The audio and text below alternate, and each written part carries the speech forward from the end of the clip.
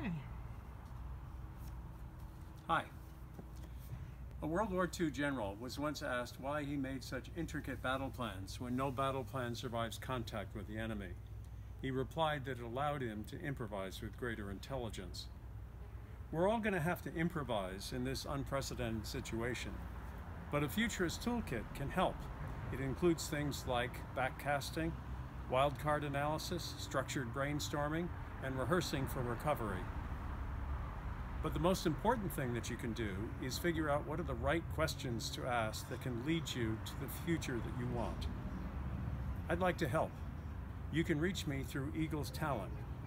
Let's talk.